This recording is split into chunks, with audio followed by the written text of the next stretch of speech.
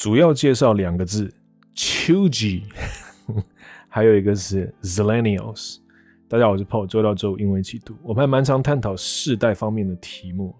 那我是 Generation X，也就是说我是生在一九七零年代末期，再往前推个十年左右这样子。然后接下来呢，就变到了呃 Generation Y，我们就称他们为 Millennial，大概就是从八一年到九六年，所以七零年代结束之后，八零年代开始就是新时代了。那大概就是又加个十五年左右。那他们呢是 Gen Y，或者叫做或者少打一个 Generation Y，或者他们叫 Millennial，千禧年、千禧宝宝之类的，所以千禧年前出生的。那现在最新的是 Gen Z，也就是七九七年以后。其实我不太确定为什么画在九七年这个有趣的时间点哈。九七年香港回归啊，Anyway，所以九七一路到二零一二年，这是 Gen Z。那他们现在就正活在这个世界上，已经成为了十多岁的小朋友这样子。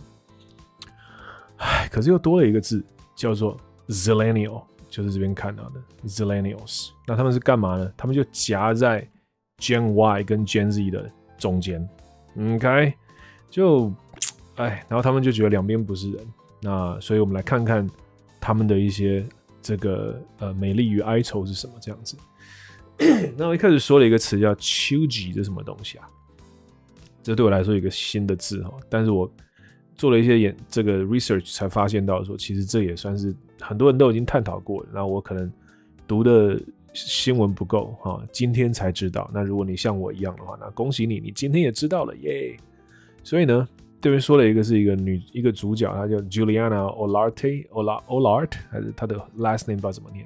二十六岁的 travel publicist，那住在纽约，她没有办法知道她的 fit fit in 在哪一个 generational standpoint。所以这里有一个片语，所以 she couldn't figure out where she fit，呃，where she fit in，对不起，这 fit in 应该是一个词，这样。So she couldn't figure out where she fit in From a generational standpoint。所以这个片语叫 from 一个什么 standpoint，就什么从什么立足点。所以是 from 这个字介系词，那你再加一些嗯形容词之类的在中间。所以例如说，从我的角度来看事情，说 from my standpoint，这个就是一个很固定的片语，OK？From my standpoint，OK？From my point of view，也是有这样子的。那还有 in my view，这几个都是固定的用法。你说能不能介系词混搭？对不起，不行。你不能说 from my view，你要说 in my view。可以说 from my standpoint，from my point of view。好，那你就把它记起来，因为这些搞混的话，就会让人家觉得英文不是很到底。所以这些是使用法，很遗憾的是没有讨价空间，没有转转换的余地。好，那这个算有点废话。那但这边用的不是 from my standpoint，是 from a generational standpoint，所以你也可以放形容词在里面。那 standpoint 是一个可数名词，所以 OK，so from。a generational standpoint，所以从一个这个世代角度来看，他不太知道自己的定位在哪边。那他是有个 Gen Z 的姐呃妹妹的，那现在才十六岁，所以他有时候会叫他这个姐姐 Chuji 啊，这就是刚学到的字。那这个 Chuji 是最新潮的年轻人拿来用来描述人家是老古板的。OK，所以我们以前说人家老古板，那现在有一个词是年轻人可以用的，就叫 Chuji。所以他这里说的是。This is a term that is used by Gen Z to refer to millennial things that are kind of uncool or cringy. OK，所以啊，让人家觉得啊，你怎么这么老派想法啊？让年轻人觉得不太舒服，看着觉得讨厌，就老古板了这样子。所以这个词叫秋吉，我还特别找了一下到底怎么念哦。好，那你现在也知道了秋吉，所以可以拿来说人家。所以呢，他的妹妹把他看成是一个比较年轻的 millennial。毕竟他才二十六岁，但是 millennial 就也会却又把它看成了 Gen Z，所以上面那个时代把它看成下面时代的人，下面那个时代把它看成上面时代的人，so she is somewhere in between，OK，啊，蛮可怜的。好，所以这边就再补充了一下，到底 Gen Z、Gen Y、呃 Gen X、Gen A 好像他们讲嘛，有呃没有九七到二一二，所以这边连 Gen X 都没有包括在里面，好好可怜哦，我们已经完全被排除在外了。我们是上上一个时代去了，这样子，so sad。But anyway，来，然后再往下看，呃，这边有个词叫 cusp，yes。所以刚说的，它就处于这两个世代的中间。所以这一段我读一下下：Along the blurry edge, at the cusp of the two generations between Gen Y and Gen Z, is where Zillennials live. OK，所以就在这个两两个的这个交界点，就是 Gen zillennia 没有 Gen 了，就是 Zillennial 他们就住在那里这样子。所以在这个交界点，那个交界点的英文怎么说？就是 cusp 这个字，我觉得这个字好酷哦，cusp。啊，那它读起来很有一种利落的感觉，cusp。好，所以在这个，而且是一个模糊的，所以 along the blurry edge at the cusp of the two generations。OK，好，所以风口浪尖啦，分界线啦，cusp。OK，好，然后呢，还有另外一个词，我觉得我们也值得看一下。所以我们现在我们刚刚说了有有 millennial，有 Gen Z，那。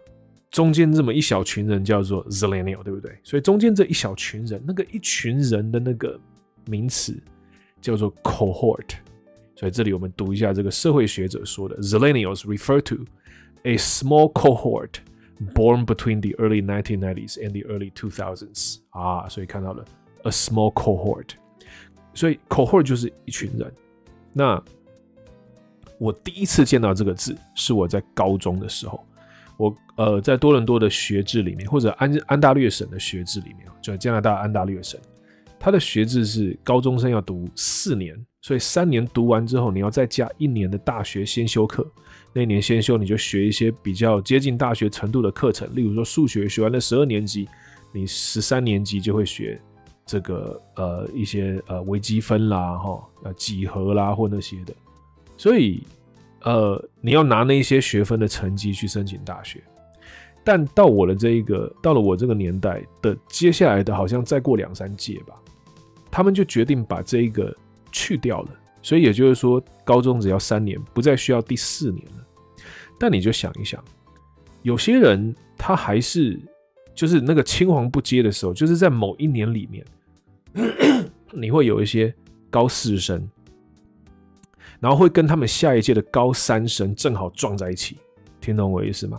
就我今天读到了，在学学制改的之前的这个高四，我现在要申请大学了。但我的学弟不用读高四，他们高三读完之后就可以申请大学，所以我们两届的申请大学的时间变成是一模一样撞在一起的。所以在当年，他们就称这个为，因为这就是一种制度修改。的过程中的阵痛，你可以这样理解它。So this becomes something we called double cohort. OK，我们也用了 cohort 这个字，用了 double 放在它前面，因为正好真的是就重叠了嘛。好，两群人同时申请大学，所以大学那个时候也觉得哇靠北，我们本来一年可以预计收多少学生，可是今年似乎两届人一起申请，我们要收 double 的学生了吗？这根本学校没这个容量啊。可是这就是很现实的事情。他们必须要努力的去这个试着来去 comply，OK，所以这就是我对 cohort 这个字第一次的接触到，我就理解为就哦，好像就是一群人，就叫做一个 cohort，所以当年是 double cohort，好，anyway，这样在这个字懂了就可以了，OK，cohort 还蛮难解释，说真的。好，那接下来我们再看就是，呃，那每一个世代都有每一个世代的。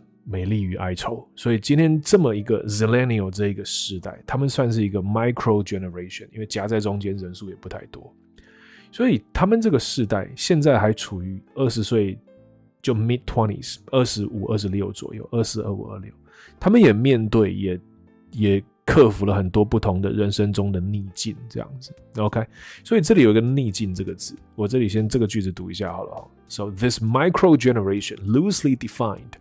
as being in their early to mid 20s, have faced and overcome much adversity in their relatively short lives. 所以在他们这个相对来说年轻的岁月中，面临并且克服了很多的 adversity。 所以 adversity 这个字就是你人生面临的挑战或之类的。所以除了讲 challenge 之外，你也可以讲 adversity，就逆境。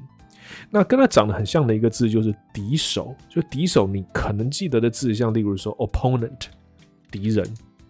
Enemy 真的是敌人，Opponent 比较接近算是对手 OK，所以比赛中的对手我们叫他 opponent，比较不会叫 enemy。enemy 很严重啊，战场上的叫 enemy，不叫做 opponent，因为他们不是对手，不是竞争的。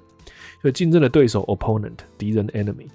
那还有 rival 这个字啊，rival 也比较像 opponent，也就像也比较像敌手的概念 rival。那再来就多讲一个字叫做 adversary，OK，adversary 也是比较类似 竞争对手的感觉，OK，甚至我觉得它跟 enemy 也有点重叠到。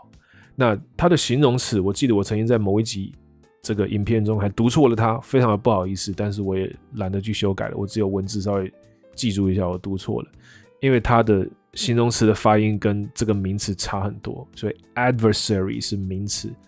Adversarial 是它的形容词，adversarial，OK，adversarial，那怎么用啊？例如说，我们现在呃呃，就美国跟中国处于一个蛮敌对的一个状关系这样子，所以 China and the U.S. is having a rather adversarial relationship，OK，adversarial relationship。好，Anyway，所以回来这里，他们面临很多 adversity，包括些什么呢？